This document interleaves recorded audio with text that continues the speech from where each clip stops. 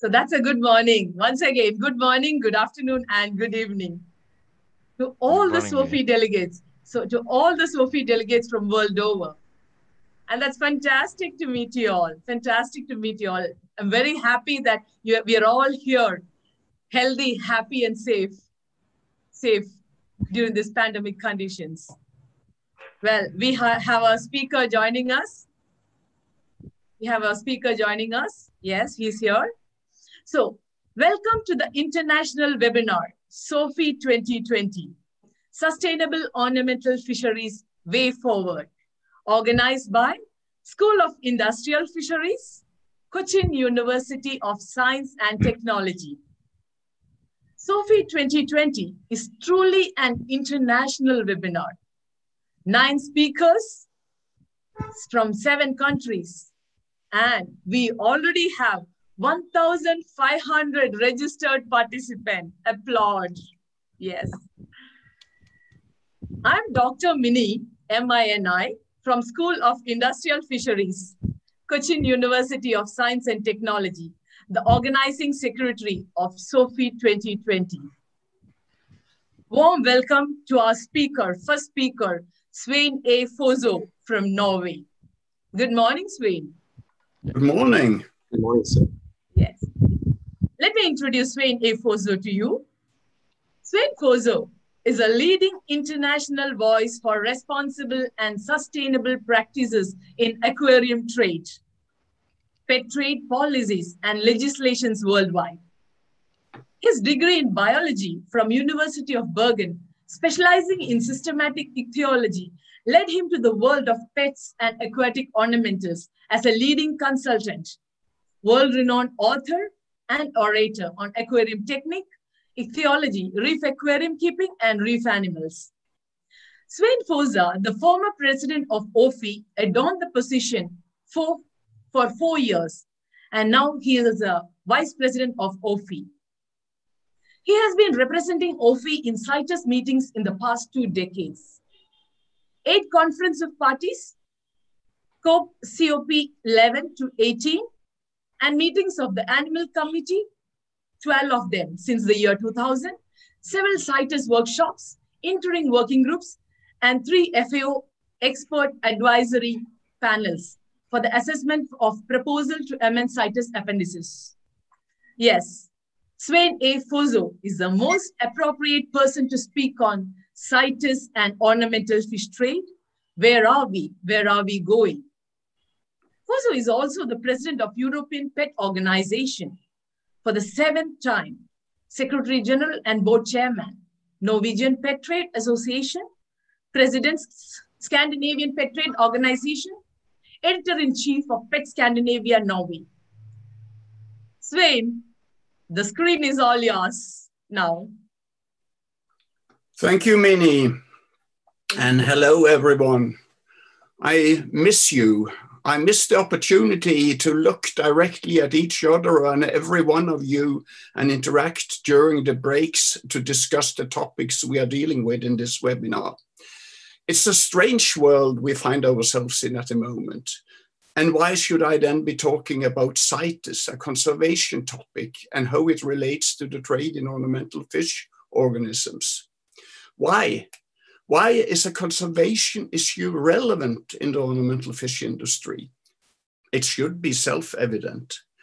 Besides the obvious responsibility towards the planet and human society that we all have, the customers expect the ornamental fish trade to be sustainable, animal welfare focused, and conservation minded. Let me make it absolutely clear. I am a strong believer in the importance of CITES, or rather, I used to be a strong believer in the importance of CITES. Now I'm not that sure anymore.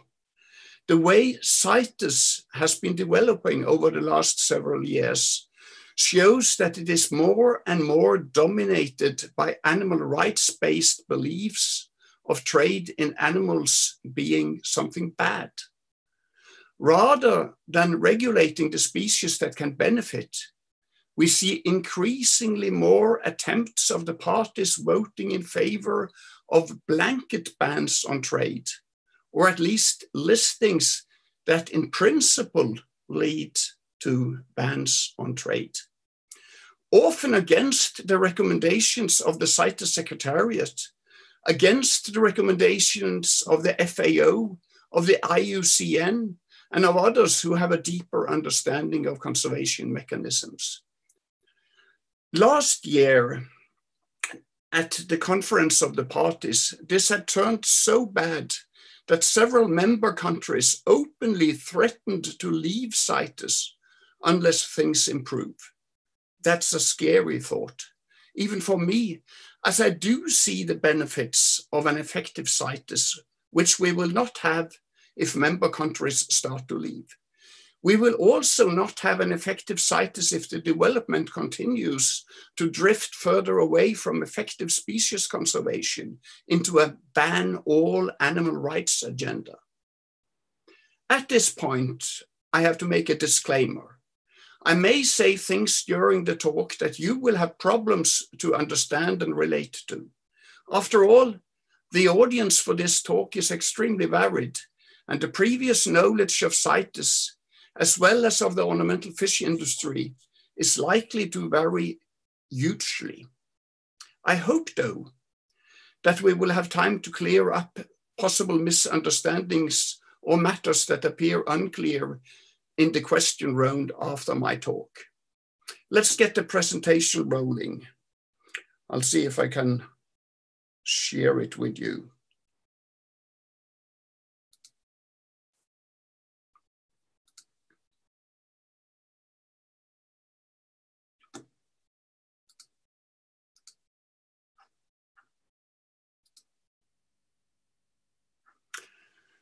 So I hope you now see the screen with the title of my talk, CITES and Ornamental Fish Trade. Where are we? Where are we going? To begin with, uh, I will absolutely not be able in the time I have for this talk to explain everything about CITES, any possible question you might have. So I can just as well start by uh, pointing you to two very good online sources. The website of CITES, www.cites.org, and the online publication, The Evolution of CITES, a 938 pages thick book on how CITES have developed over the years all important decision, etc., etc., from a former Secretary General of CITES, uh, Willem Wijnstekers. If you scan the QR code in this slide, you will get directly to that publication. CITES is a convention on international trade in endangered species of wild fauna and flora. Remember the word trade. It came about as a, the result of a resolution from an IUCN meeting in Kenya in September 1963 and was agreed by 80 countries in Washington, D.C. on the 3rd of March 1973. So it's already a pretty old convention. It entered into force on July the 1st, 1975, when the first 10 countries had ratified uh, the convention. And the first conference of the parties, known as COPs or COPs, was held in Bern in Switzerland in 1976. The CITES logo on this slide does not in any way indicate that CITES endorses or is involved in this talk. I use it on this slide as a facsimile so that you all shall recognize this important logo for everyone who is involved with trade in wildlife. CITES is important in the wildlife trade. The convention is a multilateral treaty aimed specifically at ensuring that international trade in wild animals and plants does not threaten the survival. Initially, initially, it was much more about trade than about conservation. Today, many people seems to think that everyone, uh, everything should be on CITES, no matter what the reasons might be. But it is about trade. CITES has absolutely no influence on issues like habitat loss or, or domestic uses. If species are threatened by, for instance, pollution, unregulated tourism, urbanization, or any other form of habitat damage or habitat loss, CITES is not the tool to deal with this. Only if it's international trade that is already the problem or is likely to become a problem unless the trade is regulated. It's no extinction insurance. As of today, CITES regulates trade in enormous numbers of species, more than 32,000 plant species and close to 6,000 animal species are covered by the treaty. And it's not only the big famous species that everyone knows uh, that are threatened in at least parts of their range, such as elephants or rhinos or tigers or pandas. Uh, but CITES also covers species that hardly can be considered threatened, threatened at all. The red-eyed tree frog, Agalychnis callidryas, was listed in Appendix 2 at COP15 in Qatar in 2010 and is an example of both a species that is listed because it resembles other species that are threatened, although it's not threatened itself.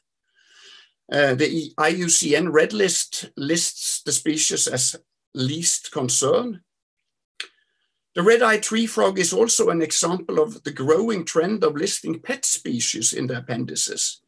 Through the 20 plus years that I have followed CITES, there has been a clear tendency for more and more focus on pet species rather than species that commercially are massively more important. Very often one gets the feeling that they are proposed simply because the proposers know they will be easy to get through. The proposal to list the red-eyed tree frog was extremely weak. Hardly any sub substantial evidence for the listing, yet the species was listed with no debate whatsoever. Many of us attending the COP felt it was done because after the failure to list the severely threatened bluefin tuna moments before, the convention parties felt they had to list something at the very least. The red-eyed tree frog had everything going for it. The only commercial interest was in a segment of the pet trade that has very limited lobbying resources. And it was a beautiful species that would look good in press coverage of the importance of CITES. At the last COP, the participants could hear an official delegate talking about the listing of a reptile species with the words, it is so beautiful, it deserves to be on CITES. Are we talking science here or what? Charismatic, beautiful animals are the big thing in CITES. And if they aren't good looking to begin with, the lobbyists fighting for listings order cute plush toys that they give out to the delegates. At the average CITES there are more cuddly toys than science reports on many desks. Is it a carnival or is it a science-based conference? One might at times be rightfully confused. But let's now move to the ornamental aquatic world. CITES as a general rule lists species and not populations. It is therefore not only wild caught animals that are covered, but also everything that is bred in captivity. Sometimes when a species enters the trade practically only as captive bred, the outcome may be peculiar. In her 2016 book, the American journalist Emily Voigt wrote about the dragonfish trade and called it a modern paradox, the mass produced endangered species. And we have quite a few examples of that.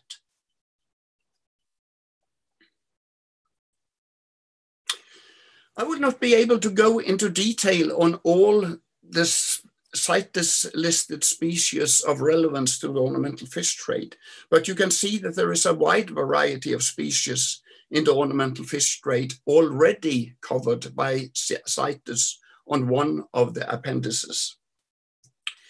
A quick overview on Appendix 1, all sawfishes, two sturgeon species, Julian's golden carp, dragonfish or Asian arowana, the Mekong giant catfish.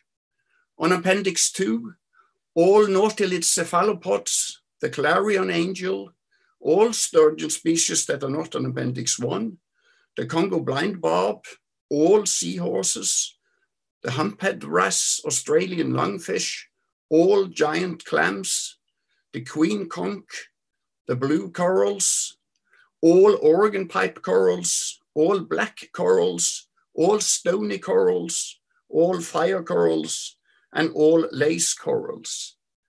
And finally, on Appendix 3, Colombia has listed uh, several Potamotrygon species, that's uh, South American freshwater stingrays.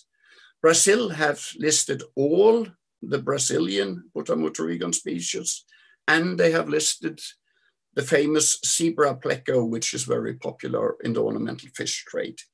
I will get on with the importance of the different appendices later on. There are three levels of CITES protect protection uh, divided on the three appendices. Appendix 1 covers species that are threatened with extinction already and are or may be affected by trade if it continues. All commercial trade in Appendix 1 species is, as a rule, illegal. But there is one important exception, and that is that trade in captive bred animals or cultivated plants may be allowed under very special circumstances. And I will get back to the circumstances that apply later on. Appendix 1 cover species that are not necessarily threatened, but may become so unless the trade is subject to regulation. Here we are not talking of downright bans normally, but the trade has to be, be followed by certain regulations. Appendix 2 may also include species similar uh, in appearance to species already listed, look-alike species, like the red-eyed tree frog that I mentioned. And international trade can be authorized by the granting of an export permit. And finally, you have the Appendix 3, which is the lowest regulation appendix in, in CITES. Here, any party may list the species of concern in the domestic fauna or flora without asking any other parties. Uh, it's a uh, unilateral listing which has the strictest measures only for the country that lists it.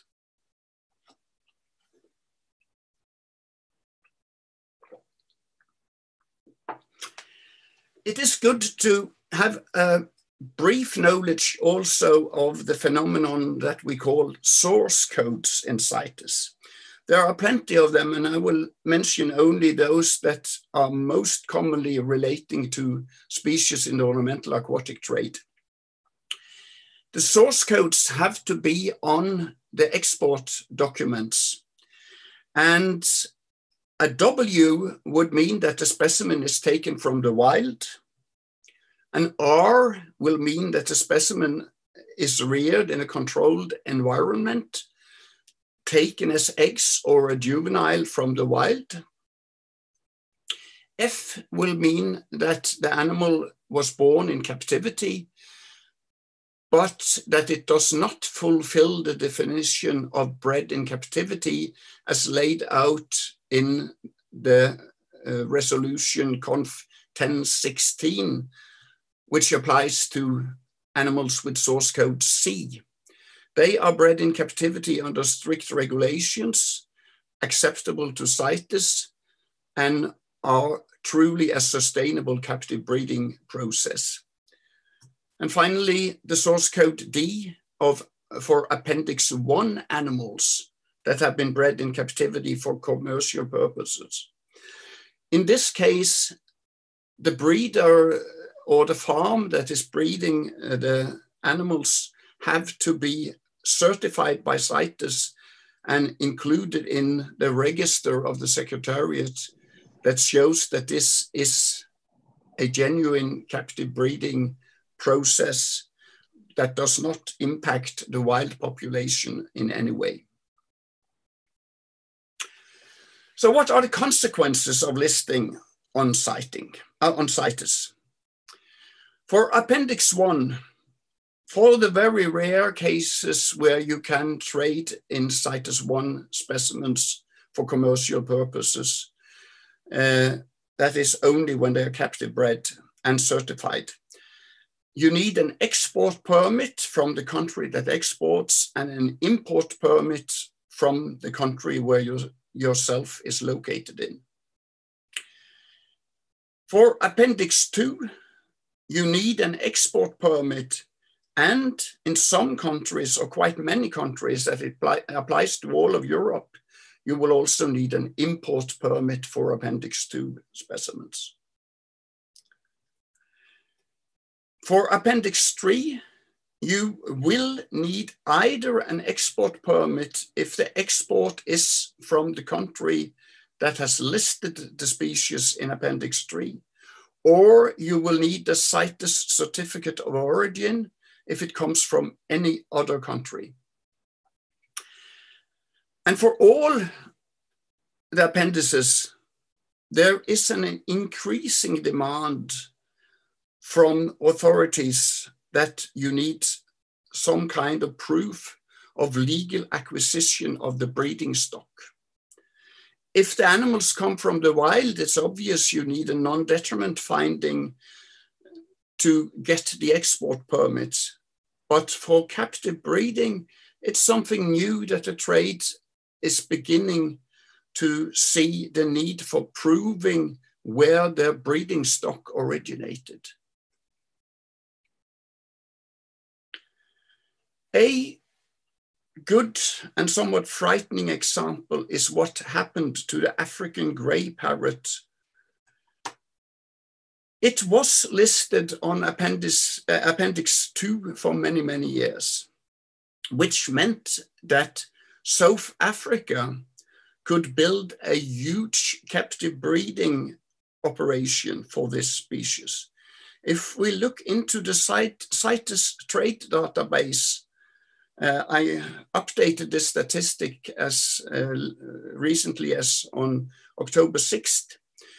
You can see the breeding of African grey parrots in South Africa increasing uh, the export from South Africa of captive bred uh, specimens increased from in 2006 4,460 specimens until in 2016 112,926 specimens. But in 2016, the CITES Conference of the Parties number 17 in Johannesburg decided to uplist the species to Appendix 1 in what was perceived as an attempt to stop the illegal trafficking of wild caught African grey parrots out of Central Africa. This was against the recommendation of the CITES Secretariat. It was against the recommendation of IUCN. And still, it was done. as for some people, it's more important to stop the trade in live animals than to actually achieve conservation uh, results. After the listing on Appendix 1, the export from South Africa became terribly difficult. And in 2018, only 1,174 specimens were exported from South Africa. Sustainable captive breeding process of a important species fell from 112,000 to just above 1,000 specimens because of the added bureaucracy of an Appendix 1 listing. And this is terrible for the general trade because South Africa was the big supplier. Here you see in blue the exports from South Africa and in red the total exports in the same period from all countries in the world. South Africa trade suffered tremendously and the world trade went from captive bred to increased smuggling out of Central Africa. There is several organizations who have published evidence that the uh, illegal capture of wild African gray parrots in several countries has increased manifold. The prices for wild caught smuggled birds have quadrupled after the uplisting to one, uh, Appendix 1. The only trade that has suffered is the captive breeding. And the reason? The breeders couldn't very quickly prove legal acquisition of the parent stock. A legal acquisition finding determines whether the specimen and the parental stock were obtained in accordance with the provisions of any national laws for the protection of wildlife and plants, and if previously traded, that it was traded internationally in accordance with the provisions of CITES. The problem is that with an Appendix 2 listing, which the species was on before, no one needed to save paperwork and very many didn't have this paperwork. It took several years before things started to normalize in a sense that breeders could prove that they had legal parental stock for their breeding operations. Today, the register of operations at CITES shows a lot of farms in South Africa that now are allowed to export birds again. And I hope that the coming statistics will show that, that trade in captive bred specimens again is increasing uh, so that the profits for illegal trafficking in wild birds will drop. But it's still a long way until all the breeders that previously were supplying birds in South Africa are CITES certified. Could something like this happen in the fish world? Let's look at an example that gives me plenty of concern. The South American stingrays, the Potamotrygonidae, were first brought to the CITES table in 2004. And since then, loads of working groups, workshops, and listing proposals followed to get them under the CITES umbrella. The range countries that fought for this listing, primarily Colombia and Brazil, were not able to convince the parties that they deserved the listing, though, not least because the trade associations present in the meetings were able to demonstrate how important captive breeding in non-range countries actually is for these species. And that there is very little reason to suspect that wild harvest is a substantial threat to the species in the wild. I was personally among those who recommended to Colombia and Brazil in several meetings that they should rather list the species of concern on Appendix 3, which any party, as you remember, can do without consulting others or needing a vote. An Appendix 3 listing will not have equal levels of control, but it will give a fair picture of how the trade is made up since all international trade has to be followed by CITES certificates. Export permits from the countries that list them and certi certificates of origin from all other countries.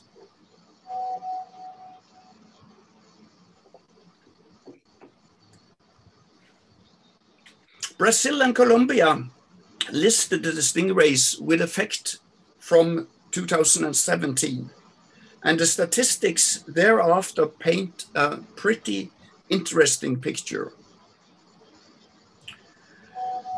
You will see here for the two years where there is complete statistics that the vast majority of freshwater stingrays in the trade comes from countries outside of South America.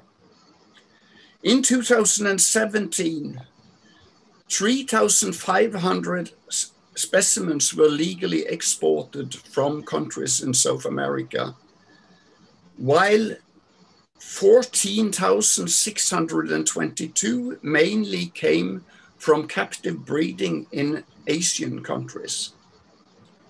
In 2018, there were 10,220 specimens legally exported from South America and 36,000 specimens from the rest of the world, again, mainly Asia.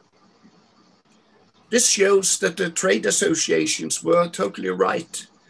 The trade in wild caught stingrays today is minuscule compared to the captive breeding which goes on in the main markets.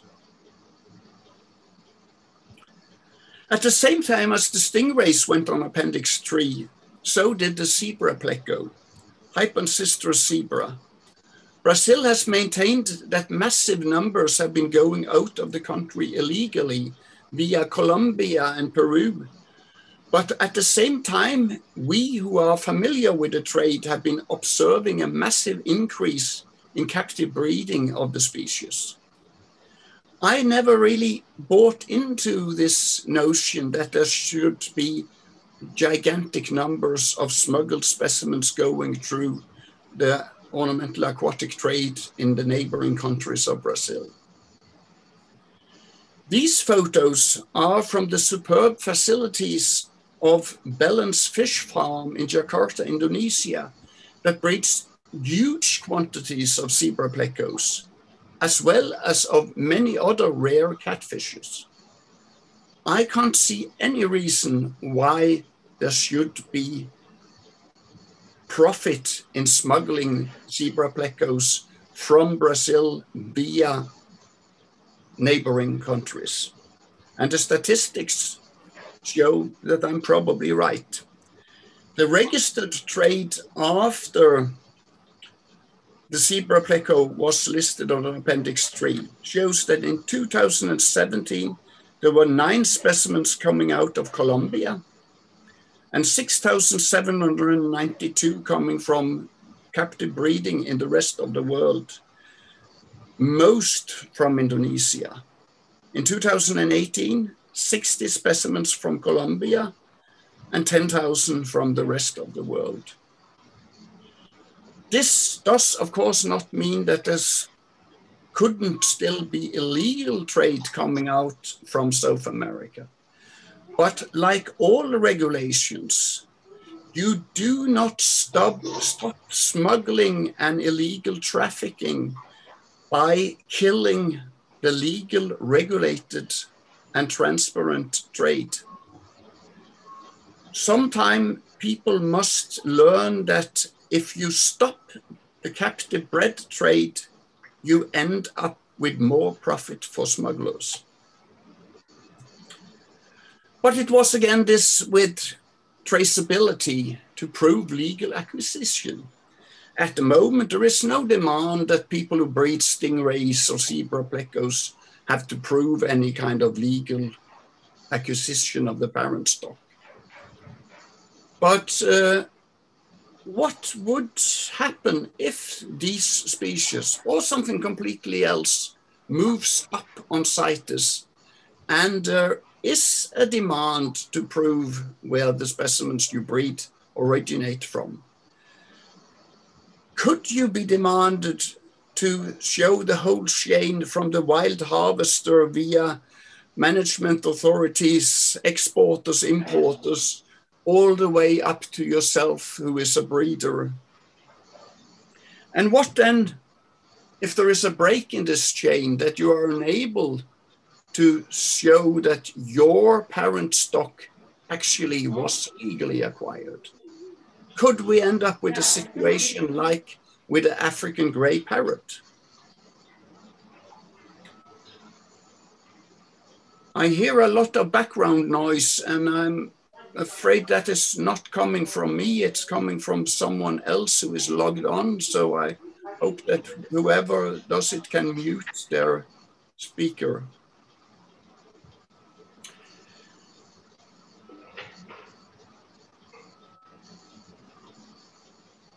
I think that we will see more and more aquatic species coming on CITES. And we could expect more and more bureaucracy related to these listings. A very relevant example is what happened at the last conference of the parties, the COP18 in 2019, where there was made decisions that the CITES Secretariat shall convene a workshop on the conservation management of and trade in marine ornamental fishes. This in order to report back to the Animals Committee, the 32nd uh, meeting of the Animals Committee, for finally decision making at COP19. What does this mean? And why this sudden interest in marine ornamental fishes? Well, I think I've already explained one very good reason for interest in anything in citing, CITES is listing proposals. It's so important for several interest groups to get more and more species on CITES, whether they belong there or not, whether it's with the approval of the CITES Secretariat or against the recommendations of the Secretariat. Things end up on CITES for the strangest of reasons at times. And underlying in many decisions is that we don't like that people trade in live animals. Of the marine species of relevance, I'm now restricting myself to fishes only. We already have all seahorses and the clarion angel listed. These are also examples of CITES listings that have had close to zero effect on the conservation of the species.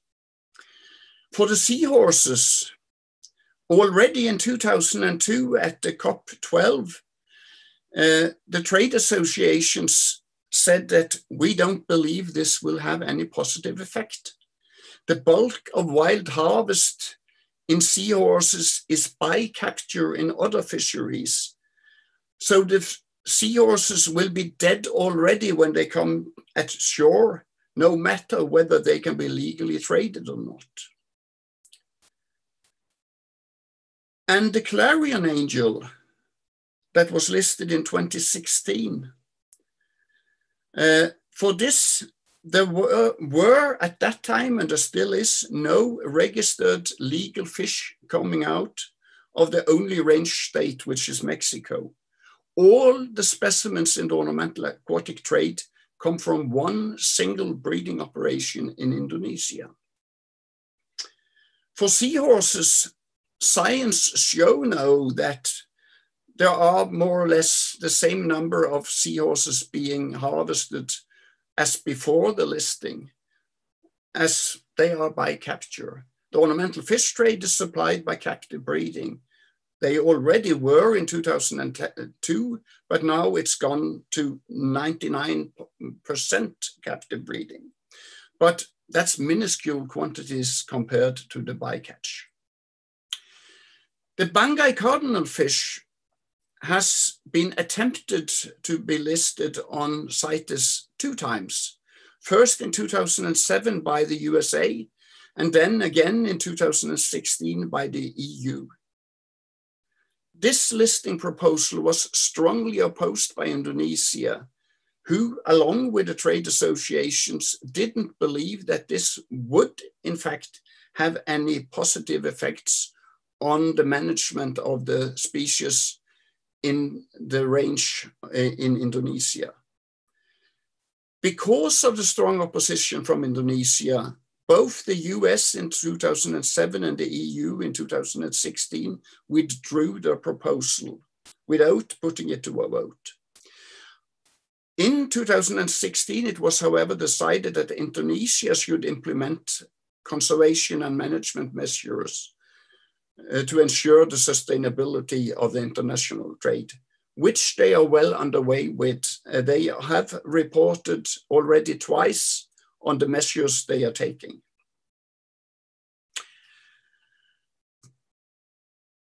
Another example of the interest of CITES in ornamental marine fishes was that at the COP when the Clarion Angel was listed, clearly inspired by the listing proposal, one Austrian NGO gave out this leaflet saying that at the next COP, please include all Pomacanthidae, all Chaetodontidae, and all Acanthuridae in the CITES appendices. No arguments, no science, just a strong belief that these species are so beautiful that they deserve to be listed on CITES.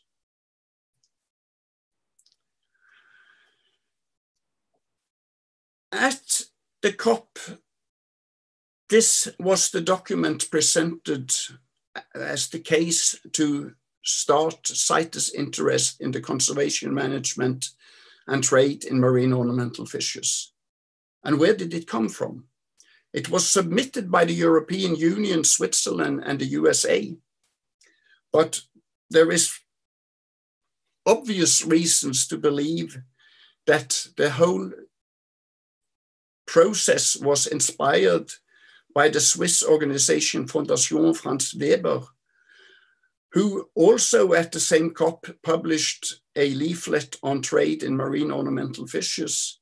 They increased manifold their focus on marine ornamental fishes in the website and in the magazine, and they have some strong opinions on the trade the aquarium industry poses a serious threat to ornamental coral reef fishes throughout the oceans, they say. Yet there are hardly any regulations, controls, or information on the impact of this trade. Nonsense. There are lots of regulations and controls. It may not be enough, but hardly any, no. Even worse, on the website, Fondation Franz Weber state, four out of five fishes die before even uh, before ever reaching an aquarium. A study revealed that up to 98% of fish end up dying in captivity during the first year. What kind of businesses can live with that kind of losses? It's totally unrealistic. It would never happen. And then most revealing, Fondation Franz Weber states, we campaign against removing ornamental marine fish, corals, and other animals from overseas. Plain and simple. With such a view on the aquarium trade, it is no wonder that they want to ban as much as possible of the trade.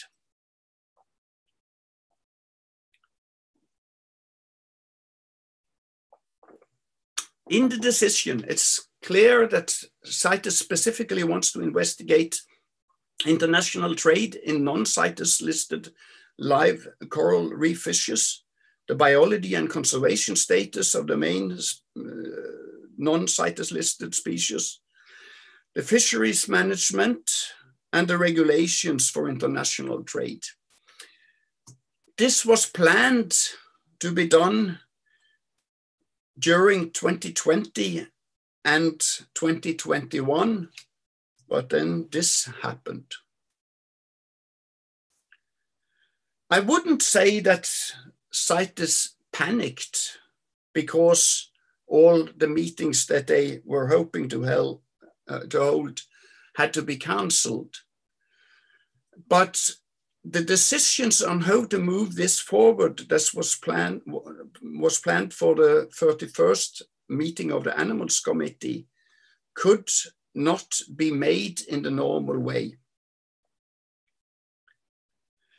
So uh, the Animals Committee meeting was postponed indefinitely, as it looks now, officially until 2021, but who knows if we can meet physically next year.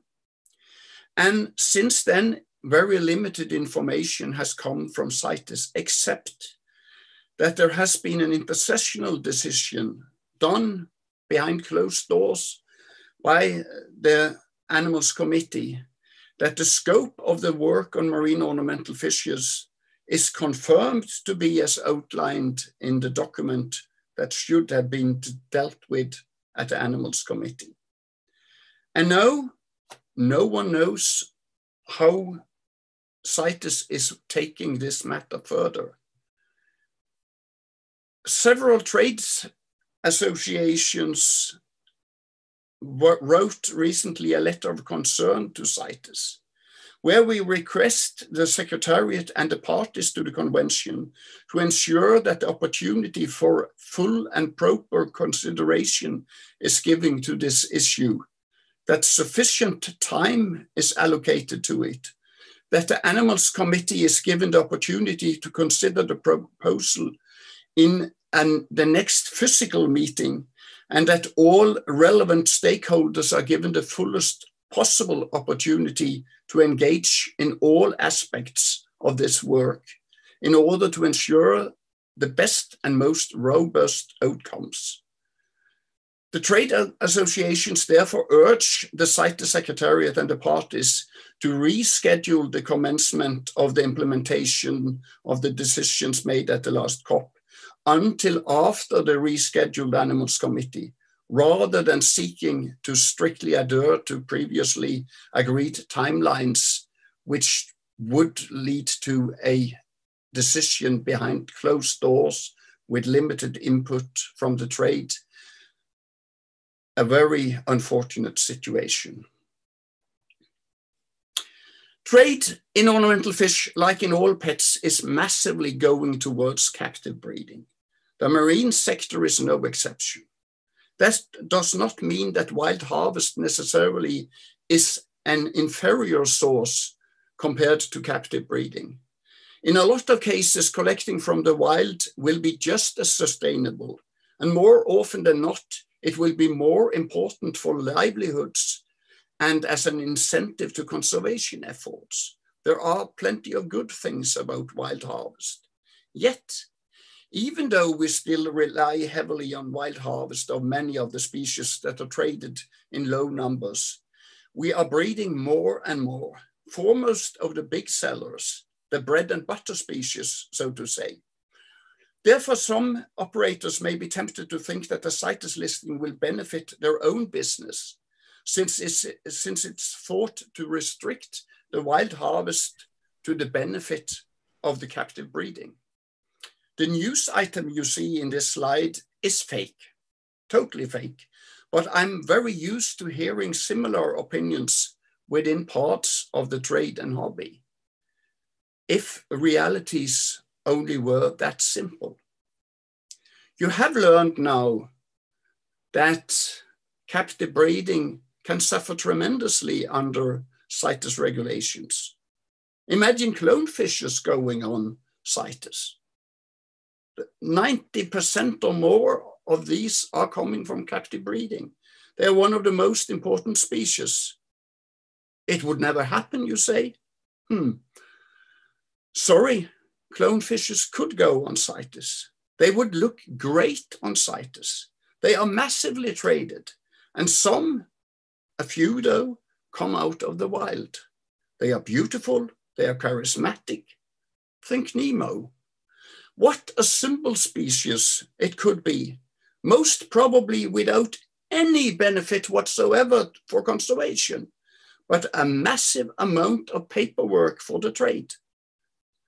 Ornamental Fish International, OFI, along with several partner associations, stand ready to represent the industry in the coming CITES process if we allowed, are allowed to do so, like we have done so many times before.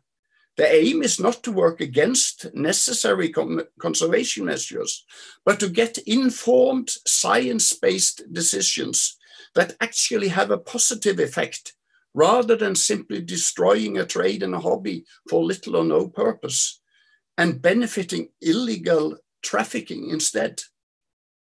We know far too well that you do not kill illegal trade by banning the legal. Our call is out to the ornamental aquatic industry to support this work by actively responding to our need for financial support, for data, and for background information. We do not need a new African grey parrot issue. Thank you for your attention. I will now take questions.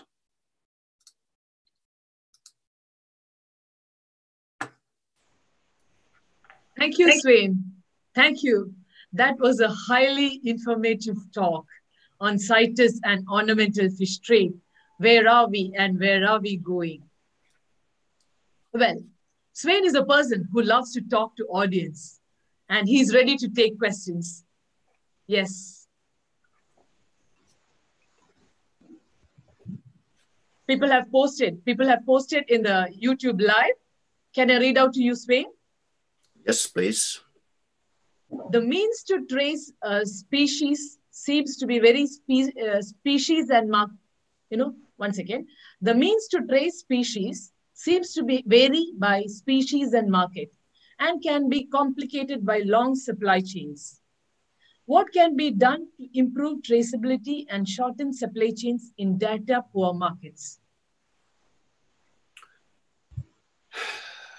That is a question that I will need 40 minutes more for. but uh, I fully realize that traceability is a problem in large parts of the ornamental trade. And I think I can reveal as much as in the trade associations, we are very well aware of these problems. And we are constantly having discussions attempting to find solutions that will improve the traceability. Um, but uh, the question is how much traceability do you need in all cases? Um, CITES is one way of doing this, but it's also a way to uh, make the trade in the legally acquired specimens more complicated. So it's it, there is no easy solution. We are working on it. I could only wish I could give a more detailed answer, but I cannot at the moment. Yes, thank you, Svein. That was a question by Bryce Risley. So there's another question. There's another question. How about procedure of secure strong genetic breeding when species are offered to the market. There are a lot of inbreeding going on.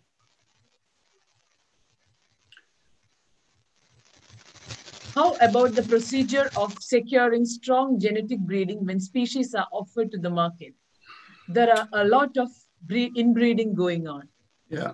Uh, I, I, I, think that one of the other speakers in this webinar, Kapila Tisera from Sri Lanka, will be dealing directly with that issue as he's talking about genetics in ornamental fish breeding. Uh, it's not really a CITES issue and it's not my speciality, but definitely we need to uh, avoid inbreeding as it uh, reduces the quality of, of the um, uh, fish uh, stock and the fish available to the market. Yes, thank you. Thank you, Svein. Those in the Zoom can unmute and ask your questions. John, would you like to add, add some questions? Could you unmute and ask the question? Okay, I'm unmuted. It's not a question, it's more a comment. Um, I'm really, really pleased that uh, Svein has taken such great care in presenting CITES as it really is, because the impression of CITES out in the world is that this is a, a flawless, faultless organization, that it's there to save the world and save the species, which of course it should be. But it's a very imperfect uh, organization and it's got major, major flaws. It's got its users, but it's got its major flaws. And I think uh, Svein has done a great job in presenting what I believe is a very balanced view of the situation with regard to CITES. Thank you, John. Uh, I, I noticed, uh, Mini, that uh, Karen Gaynor from the CITES Secretariat is saying in the chat that they would like to respond briefly. Will yes, you please. give her the floor, please? Yes, please. Yes, please. Most welcome.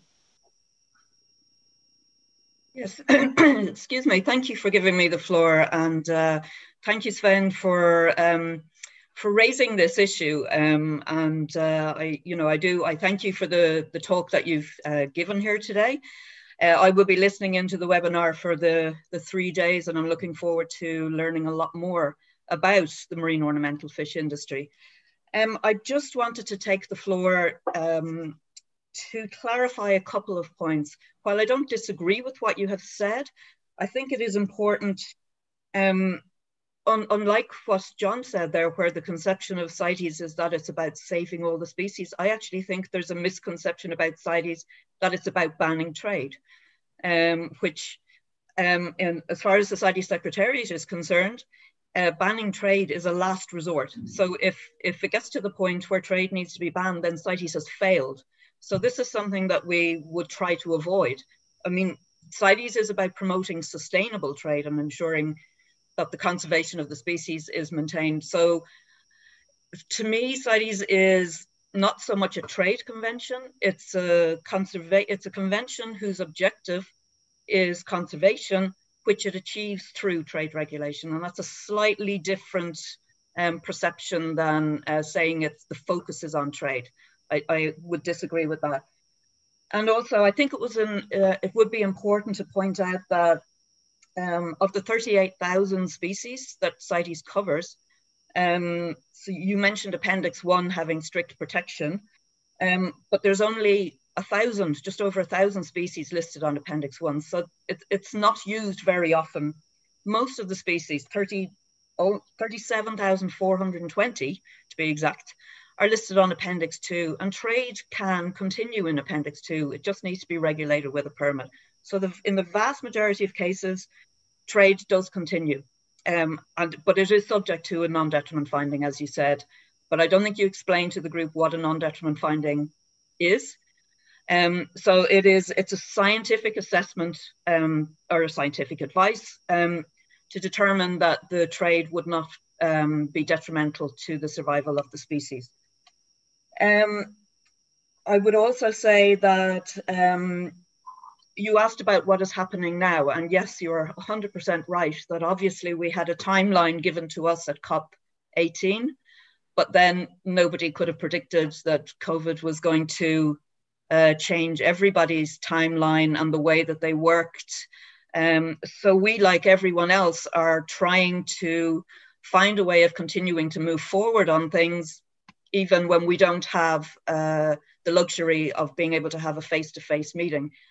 Um, I still can't give you any further information on when that would actually take place.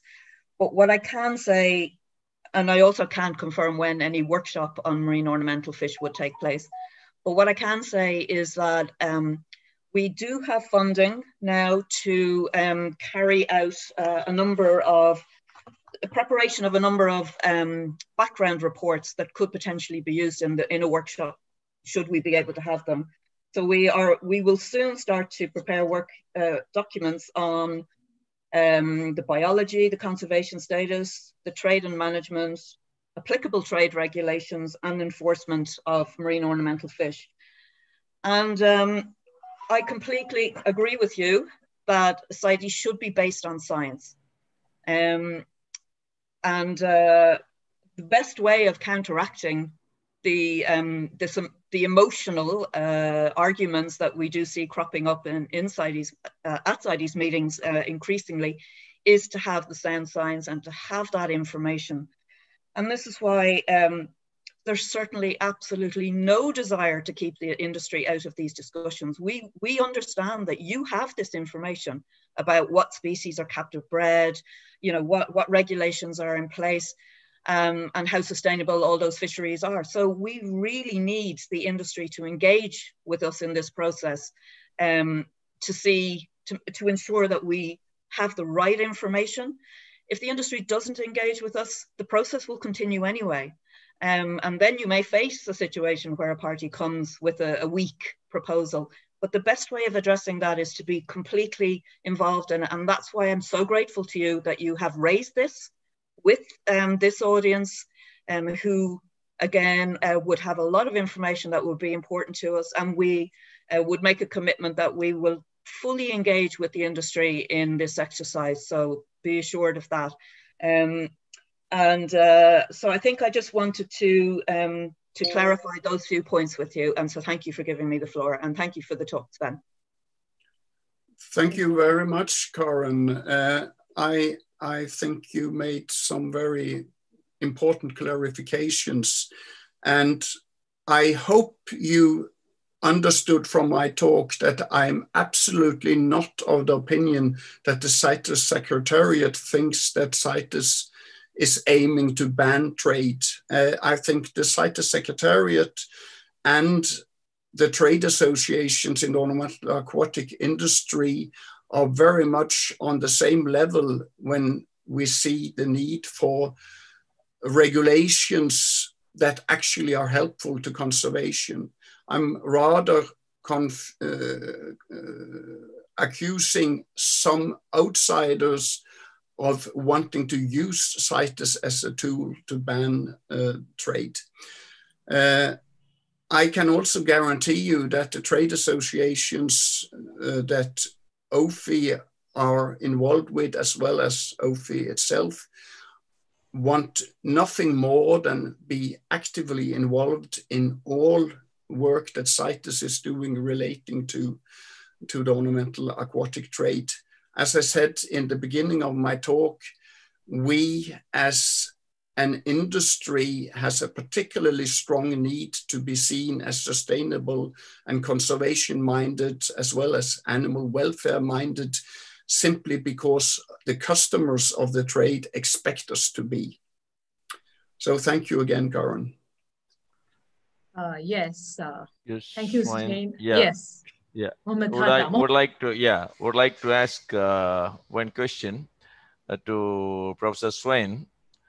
Like uh, in this case of uh, in the scenario of uh, this emerging pandemics or uh, re-emerging and emerging infectious diseases, this wildlife traffic or you know trade in endangered animals as well as exotic species from different parts now, I've seen one of my friend in my village. I'm in a very, you know, faraway village in my city. I'm in my district, where he's keeping so many birds. The the birds which you have shown already, it is with him. I've seen several of them, which are very exotic. I'm always wondering. I used to tell him, "You be careful. don't go very close to, you know, I mean, interacting so closely with them. We never know something is jumping onto you and causing an infection. So I see a lot of uh, things. I'm basically interested in nature. I do keep certain things and I go there, visit these things. So I see a lot of danger. I mean, in terms of uh, whether these are properly regulated, whether they're bringing in a lot of stuff. I see a lot of stuff which is coming with their inherent uh, microflora, which includes germs also, which includes potential pathogens, emerging pathogens, which can then jump onto the humans, spread in the population, which is now becoming very real. So what's your opinion or how CITES is actually, you know, uh, giving uh, a very firm control uh, to arrest or rather uh, prevent such uh, events, which are very much real? Especially in the context of uh, COVID-19, which is a pandemic. I mean, every almost all the countries are affected. Would like to hear from you. Thank you. Um, I think you you are definitely not the first to ask about what CITES does or should do on uh, zoonotic diseases. But uh, in my view, that would be a serious misuse of CITES to mix in zoonotic diseases. We have other qualified international agreements that deals with zoonotic disease, uh, diseases, not least the OIE and the WHO. Uh, there have been loads of people who now see it as an opportunity that you should ban everything on CITES and only release species when you can prove that they don't carry zoonotic diseases. But frankly, the risk isn't so gigantic that you should kill down all trade in live animals. Uh, the risk is probably bigger in, in, industrial farming than it is in most hobby animals. Uh, but we need regulations also in animal health, and we have regulations on animal health. They will probably be stricter after COVID 19, but by all means, don't mix that into CITES uh, that would confuse the real work that CITES has to do and which is important in its own right. so the short answer, yes, zoonotic diseases is something we need to take seriously, but CITES is not the place to regulate it. Does that answer your qu uh, question? unmute, unmute Mr. Uh, Dr. Hatta, Professor Hatta. Professor Hatta, could you unmute? Professor Hatta, uh, we are not able, okay. All right. Uh, so, Svein, okay, we have had uh, some kind of interactions. You are worried about this kind of online platforms where you would not be able to talk to people. You have had some interactions, right? Uh, there are more questions coming up. Uh, I think we will have uh, a couple of questions. Uh, uh, anybody, if you want to ask, you can unmute and ask. We'll take a couple of questions before we close for the next session.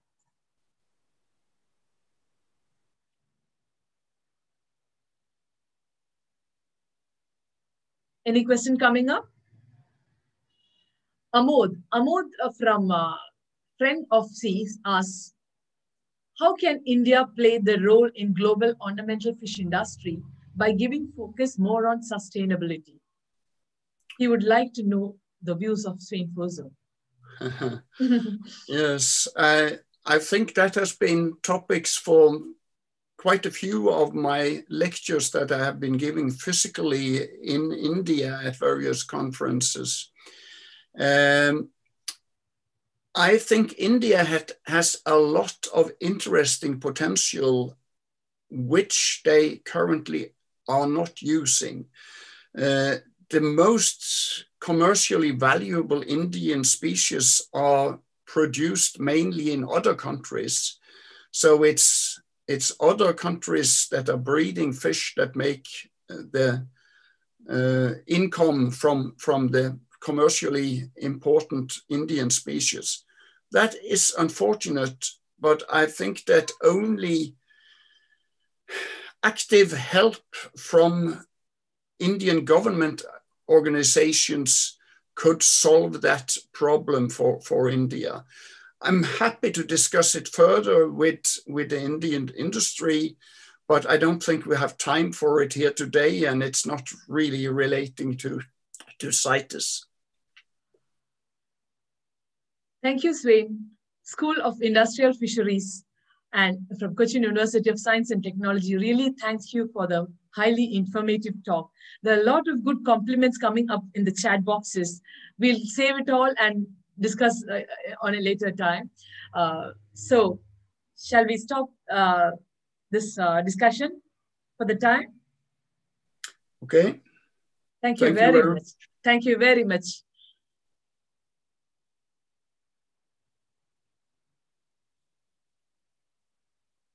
admin are we stopping for this this session now we we we i want to remind you all of you all of you here in the platform i want you to, uh, to remind you that all the informations regarding the next talks will be available in the SOFI website www.sofiwf.com so you can get your link for the next talk in the website so keep looking at the website every time to get your link for the next talk. The next talk is at Indian time, 1 p.m.